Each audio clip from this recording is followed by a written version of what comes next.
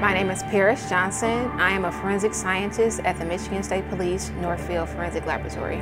I grew up watching shows such as Law and Order and CSI, and those shows piqued my interest in the subject. As a forensic scientist, we don't really care for the CSI effect because it gives a false reality of what forensic science is. The show CSI portrays the detectives and the CSI investigators responding to crime scenes with long flowy hair and makeup and high heels, whereas that is not true at all. We wear our hair pulled back um, because we don't want hair to fall on the evidence and we don't want to contaminate the crime scene.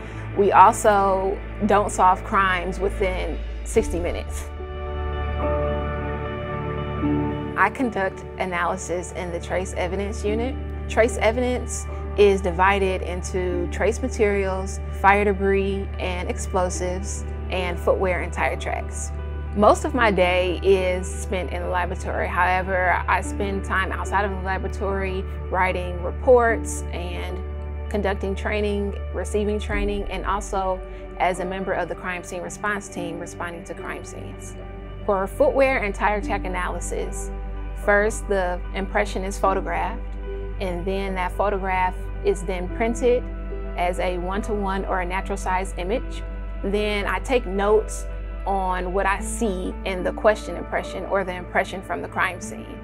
After I first look at the question evidence, I can then look at the known evidence, which comes from the suspect.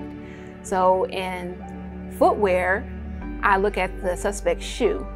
I can notice the model and tread design and different shapes and features at the outsole of the shoe, and then I make a test impression. A test impression is a visual representation of the outsole of the shoe. I can then compare the test impression of the suspect shoe with the question impression from the crime scene. I believe good forensic scientists need to be honest and have integrity, as well as have a lot of curiosity. I definitely would encourage others to get into the field, especially if they love science and criminal justice.